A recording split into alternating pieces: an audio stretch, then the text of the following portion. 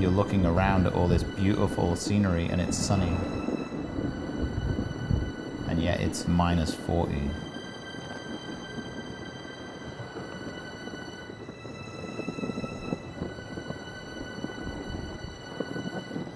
I was coming to a checkpoint and it was up a hill. And it was a kind of spiral hill that we were going around. And we're going uphill getting faster. You're just looking down, you just can't believe that you're getting faster. And it was just like a roller coaster ride. And so the motivation of that is just, it's right there. It's like you can do anything.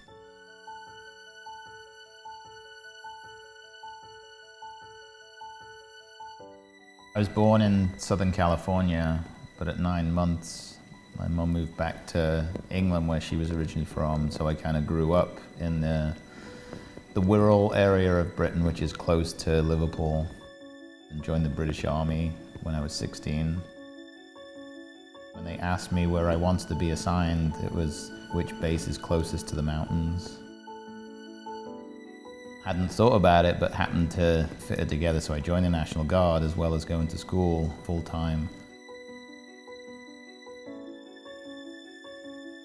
That then led to the meeting Scott Janssen at the Iditarod in 2012, again in 2014.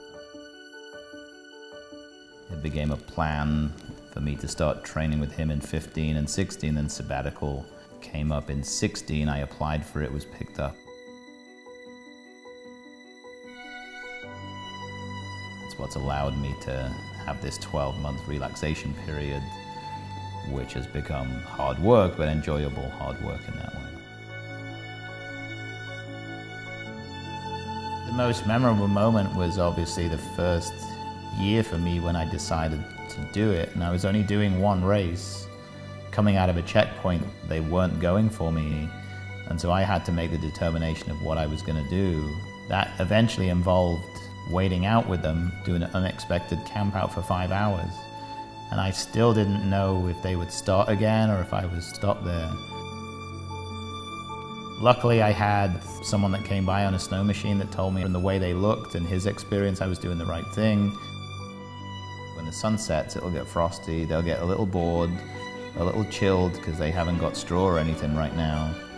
And as soon as a few of them start getting up, then rebooty them, reconfigure them, and you'll be able to get going again. And after five hours, that's exactly what happened. The sun started setting, got them all up, switched dogs around, suddenly got the two leaders up there.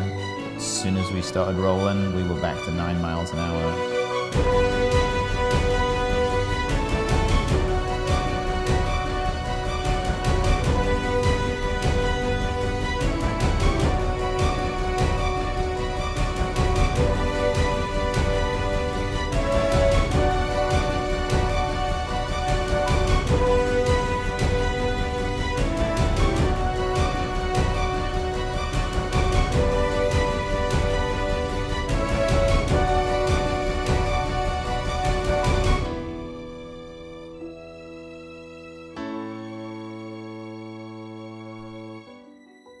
I'll be disappointed if I'm back of the pack in the Iditarod.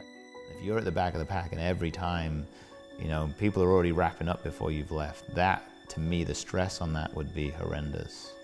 So the way I'm looking at the Iditarod is more a time plan and then sticking with that time plan.